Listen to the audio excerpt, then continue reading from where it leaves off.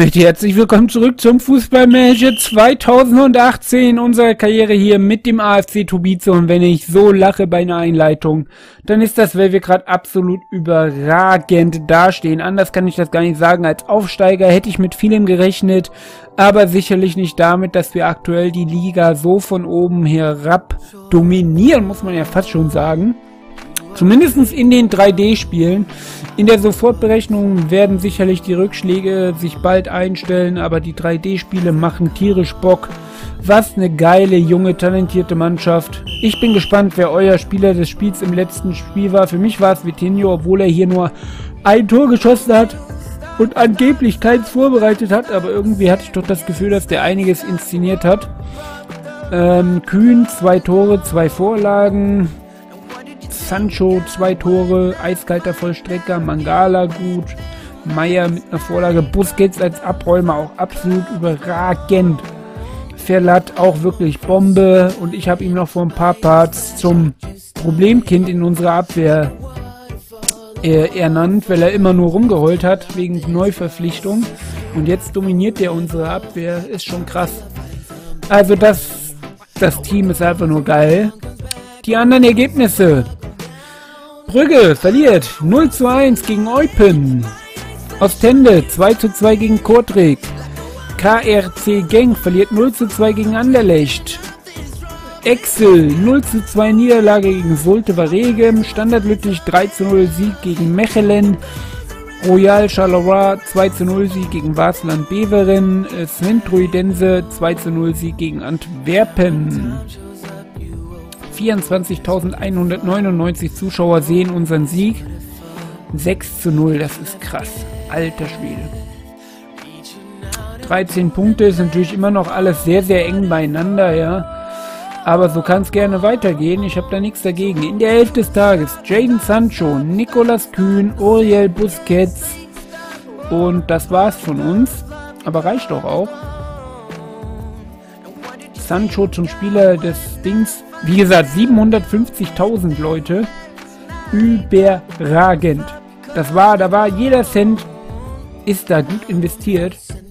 Einfach nur eine Granate, ey. Eine Granate. Und er ist auch in Hochform. Ein Tag verletzt aufgrund der Grätsche, aber das ist schnell weg, hoffe ich. Wie gesagt, wir machen jetzt noch das Spiel gegen Ostende per Sofortberechnung. Auch wenn die gerade vierter Platz sind, ist das eine Sofortberechnung. Ich habe die Mannschaften genannt, die ich im 3D-Spiel mir angucken werde. Geil, einfach nur geil. Auch wenn jetzt, äh, wie gesagt, jetzt schon vielleicht gegen Ostende per Sofortberechnung dann Schluss ist mit der Erfolgswelle, aber ja, macht trotzdem Bock. Ich hoffe, ich kann das in der nächsten Aufnahmesession auch noch sagen, aber richtig geil.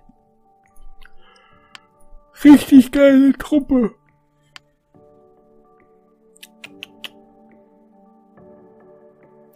De, de, de. So, Gibril So kommt auch bald zurück. Busquets hat ihn aber würdig vertreten, würde ich mal sagen. Ihr seht, hier muss ich auch wieder neu sortieren. Neue Aufnahmesession, sage ich ja. Beziehungsweise ich musste die Aufnahme neu starten.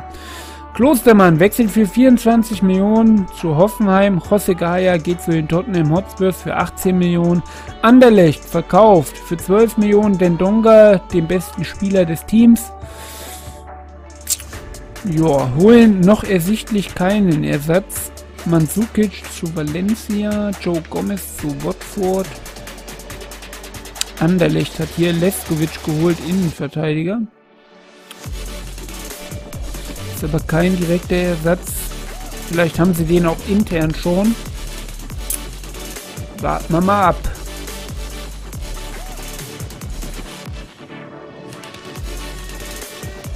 Spielervorstellung Egestein.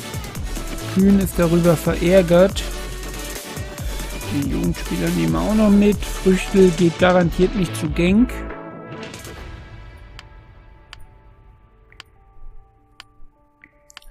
So, jetzt haben wir auch im Sturm Ersatz, falls dann jemand mal ausfallen sollte. Einen überragenden Torriecher hat er schon.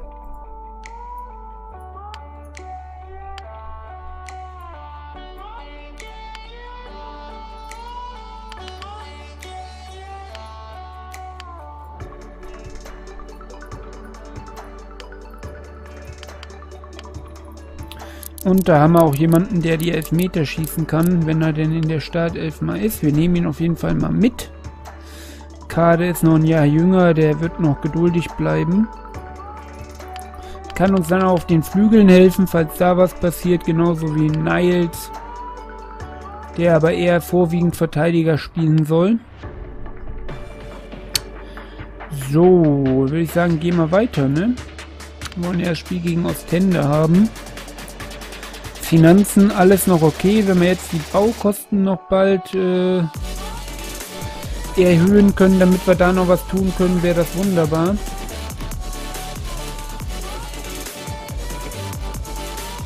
Sechs Gegentore. Wir fangen natürlich viele Gegentore. Anderlecht hat zum Beispiel nur eins gefangen. Aber bei denen ist jetzt auch Dendonga weggegangen. Mal gucken, ob danach die Verteidigung auch noch so sicher steht. Und Anderlecht hat auch noch nicht gegen uns gespielt. Wir haben schon einige Vereine gerade live vermöbelt. Ne? Brügge. Ne? Gent. Haben dafür aber auch eine absolut grottenschlechte Jugend. Also da wird in den nächsten Jahren erstmal noch nichts kommen. Aber wir haben ja auch erstmal noch eine junge Mannschaft. Von daher verkraftbar, die hält noch ein paar Jahre.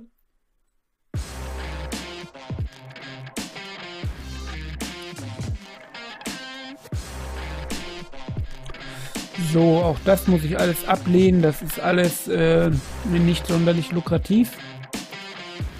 Wenn ich schon Deutschland abgesagt habe, dann gehe ich sicherlich nicht nach Japan, äh, China oder irgendwas Korea. Da stimmt nämlich die Jugendarbeit überhaupt nicht. Und da kommt nichts nach in der Nationalmannschaft.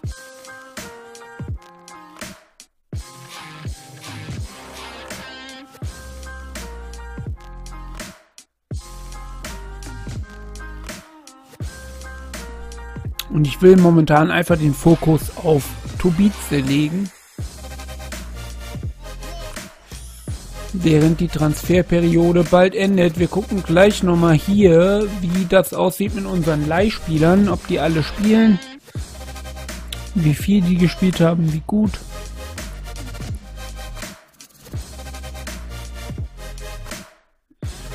So, Ostende. Arne Meyer, stärkster, boah, Form von 19, das ist ein Tier. Nate ist auch im Form hoch, die können wir gar nicht alle einbinden. Free Noise in Form hoch. Brr, wie soll man den denn einbinden?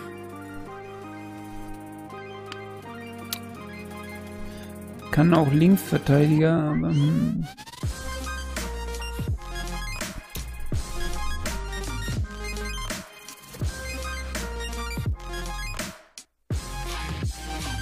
Nee, lass mal die Aufstellung erstmal so. Mina kommt maximal rein für Bark. Ähm, bim, bim, bim, Ja, lassen wir es erstmal so. So, gucken wir mal.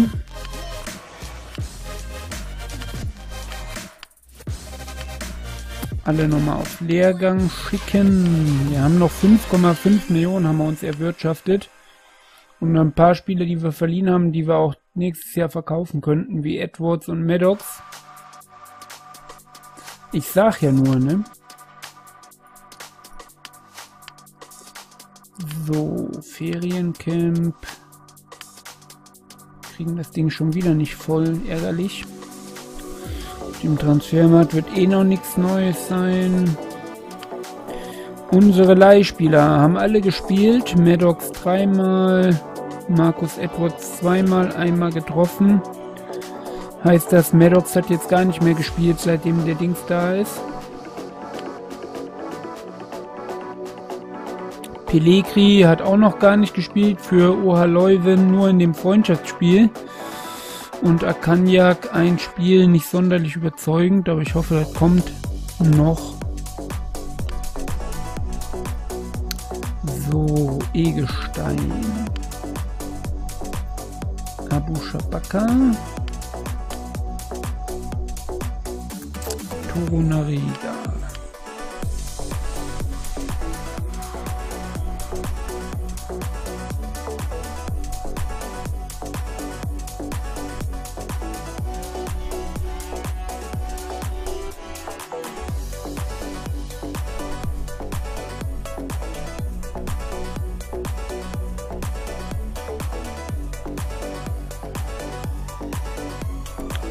So ist noch 13 Tage verletzt. Früchtel, sensationell, ist ja auch im Form hoch, genauso wie Bark. Svila genauso. Mangala. Auch ein absolut genialer Transfer. Busquets verbessert sich jetzt in Fernschüsse auch noch dazu, also wird auch da besser. Na komm, Hack um e Egelstein. Bitte, wieder gut trainiert. Und damit hat man alle Gespräche. So, in der Jugend können wir eins was tun. Da ist der Flamming diesmal dran, genau. Ist trotzdem noch weit entfernt. So, gucken wir uns mal den Gegner an.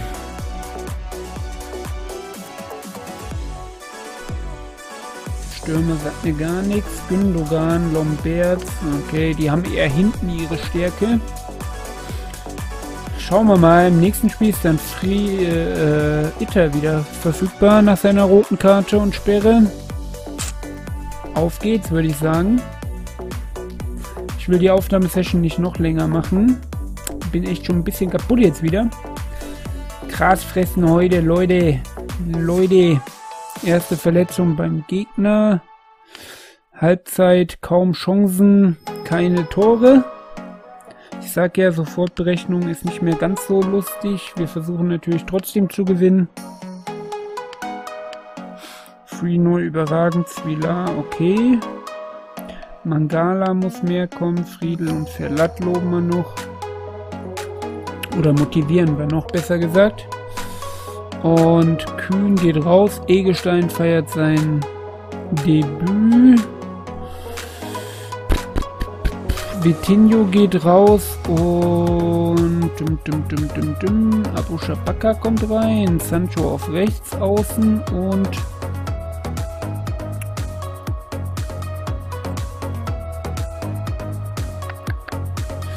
Nate kommt rein und Arne Meyer auf die 6. Mangala als Spielmacher volle Offensivpower mit drei Spielmachern jetzt. Jaden Sancho mit dem 1 zu 0. Komm schon, bitte drei Punkte holen, Leute. Drei Punkte holen. Yes, auch mal zu 0. Wieder mal, zweites Spiel hintereinander zu 0. Sehr gut. Nate wieder mit 1,0. Überragend.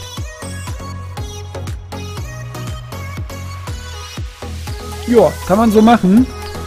Sechster Spieltag, wir drohen immer noch von Platz 1. Royal Antwerpen verliert 1 zu 5 gegen Standard Lüttich. Eupen gewinnt 2 zu 1 gegen Centroidense. Anderlecht gewinnt 2 zu 1 gegen Gent. Der nächste Dämpfer für den Meister. Sulte Varigen gewinnt 2 zu 1 gegen KRC Genk, die absolut grottenschlecht in die Saison gestartet sind. Mechelen 3 zu 3 gegen Royal Charleroi. Wasland Beveren 2 zu 3 gegen Brügge und Kortrijk verliert gegen Excel im Office-Programm. Ja, so langsam können wir sagen, dass wir uns hier oben schon sieben Punkte erarbeitet haben. Das ist gut. Auch wenn hier mit Gent und Genk noch zwei Granaten natürlich warten. In der Elf des Tages Nate und Freenoi. Immerhin, äh, immerhin. Okay, schon wieder Nate sogar zum Spieler der Woche wieder gewählt. Also bei uns läuft es aktuell. Muss man einfach mal so festhalten, würde ich sagen. Er macht Bock. Macht tierisch Bock. Wie gesagt, am liebsten würde ich die Aufnahmesession gar nicht beenden, aber ich merke auch so langsam, dass die lange, lange Aufnahmesession wieder so ein bisschen zieht.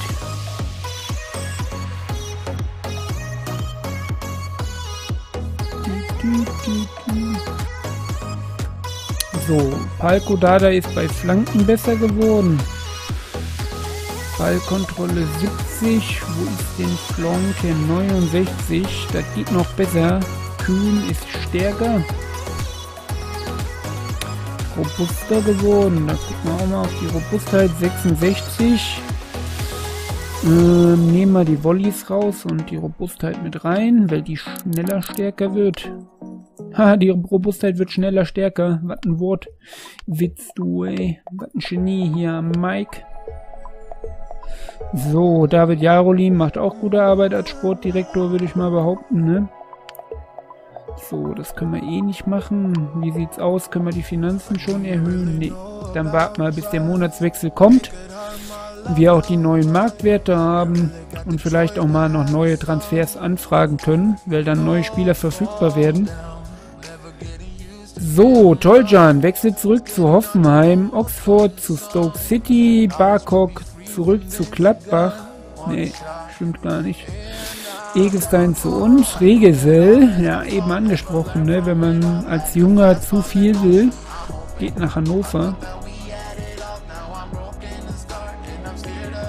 Jaden Sancho erreicht Trainingsziel, der toppt momentan alles. Und das Spiel gegen Moskau nehmen wir jetzt nicht mehr mit rein, glaube ich. Sondern in die nächste Aufnahme. Dass wir da geschmeidig reinsteigen können gegen das Office-Programm.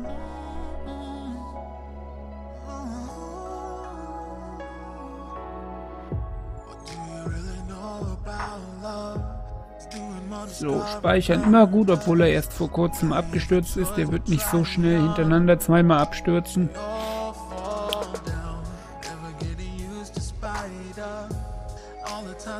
Es wird keinen geplanten Transfer mehr von mir geben.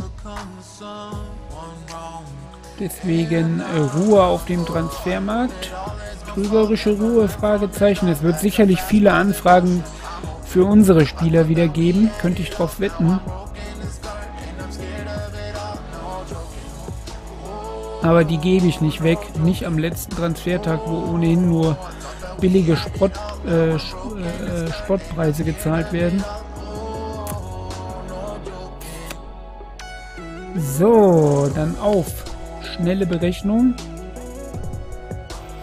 Sind wir mal gespannt. Noch keine Anfrage für uns. Da kann ich mir auch nicht vorstellen, dass das bleibt. Oder haben endlich alle aufgegeben, unsere Spieler haben zu wollen, weil sie wissen, dass wir sie nicht weggeben. Aber es passiert allgemein noch gar nichts. Das ist sehr verwunderlich. Habe ich noch nie erlebt, dass hier nichts war. James Wilson, Sabitzer. 22 Millionen. Wird ja immer günstiger. Lindelöf Lukas Hernandez und Kenny Tete. Doch noch mal ein bisschen was los gewesen. Turo Nariga 4,3. Der stößt hier bald an die Spitze. Die Jupiler, Jupiler League sucht ja eh noch einen neuen Star, nachdem ja Bailey schon etwas länger jetzt weg ist und jetzt auch der von Anderlecht gegangen ist. Gucken, ob einer von uns das Fenster füllen kann. Vielleicht ja auch Jaden Sancho. Der kommt auf jeden Fall sehr, sehr nah ran an Leon Bailey.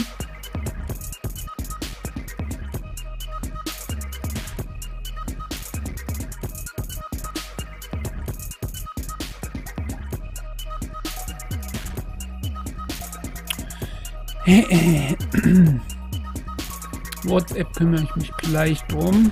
Ist ja jetzt eh nur noch der eine Tag. So, Sancho, 71 Stärke, 750.000 und der wird noch viel, viel besser.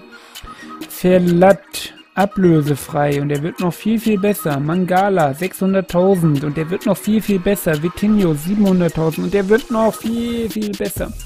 Ich bin begeistert von unseren Transfers, muss ich ganz ehrlich sagen. Absolut geiles Team.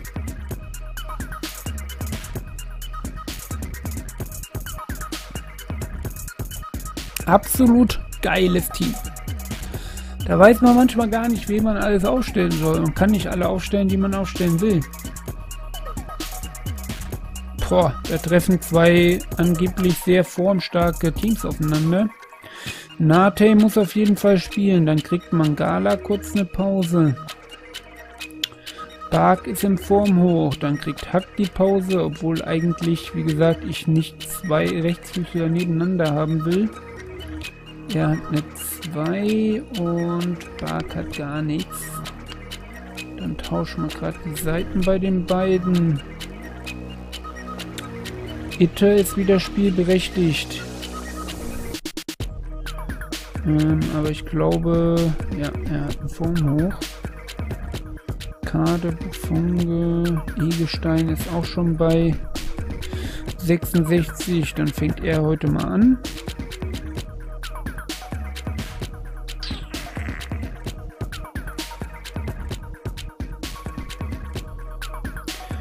Wir noch mit, falls wir doch nochmal da auch wechseln müssen und Spielpraxis vergeben können. Ich hoffe, ich lasse das beim nächsten Mal auch so. Wie gesagt, neue Aufnahmesession, da werde ich immer ein bisschen vercheckt sein am Anfang. So, er, der fast alles spielen kann. Kriegt hier nochmal die Ausdauer geleert. Die wird sich auch relativ schnell füllen, hoffe ich. Angebot für Miles abgelehnt. Ja, da wäre ich aber noch gesprächsbereit. Wenn wir den Gewinn bringt, verkaufen können wieder. Ist einer, bei dem könnte ich drüber reden. Es werden sicherlich noch Leute dazukommen.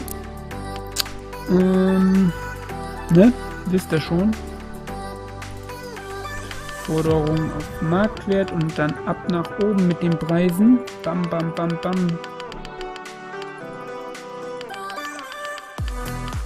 Maya, Sancho, hier unser Trio. Übelst talentierte Leute dabei. So, Akanyak spielt weiterhin nicht wirklich oft. Pellegri hat jetzt zum zweiten Mal gespielt, aber keine Note bekommen. Aber egal, Hauptsache die spielen so ein bisschen.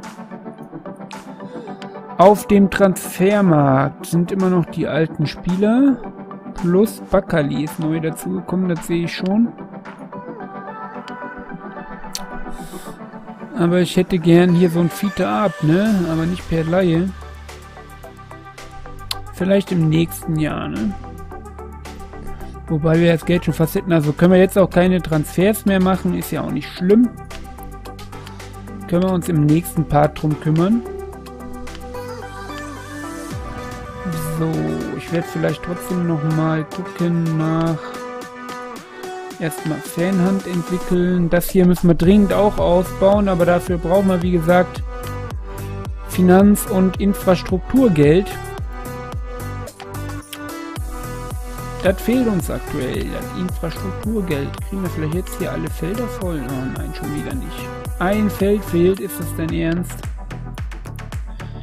Warte, ich wollte hier nochmal reingucken, weil Spieler dessen Verträge auslaufen. Erstmal natürlich. Achso, ja, weil es eine neue Aufnahmesession war, ist klar. 26 Jahre, weniger, oder erstmal alle Vereinslosen. Gucken wir mal, ist da noch was übrig? Nur der Torwart, schade. Nichts Neues verfügbar geworden. Dann hier vermutlich auch nicht, ne? Leifers. Kein Spielerbild, uninteressant. Abel Ruiz würde ich, wenn dann nur ablösefrei haben wollen. Pertu. Capune. Nö, nix. Und so offen zum Kauf, was ist da neu dazugekommen und überragend.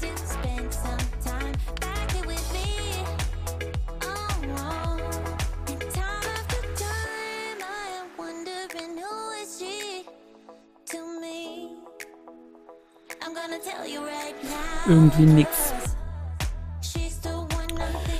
Dann haben wir noch die Spielergespräche für den Zukunftsmenschen hier. Direkt mal die Robustheit erhöhen bei Egelstein.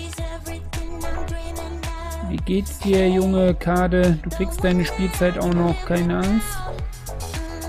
Wir brauchen nun mal den breiten Kader. Super letztes Spiel, Free neu. Vitinho, du musst dich langsam drehen, sonst wird es für dich auch eng. Wobei du im 3D-Spiel sehr überzeugt hast. Toro Nariga aktuell auch noch nicht so auf dem Einsatz gewesen, ne? Aber seine Zeit wird natürlich wieder kommen. Wenn da nicht die ganzen im Formhof sind, dann geht das schneller als man denkt. Bark können wir nicht für seine Form loben, obwohl der im Formhoch ist. Okay, muss ich nicht verstehen, aber gut.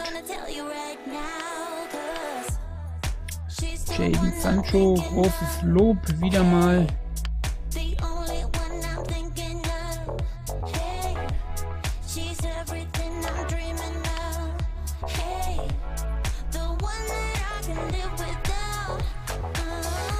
Friedel und auch Itter.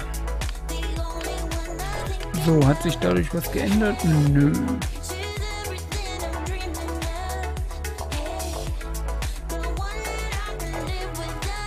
Nee. Gut. Busquets 65.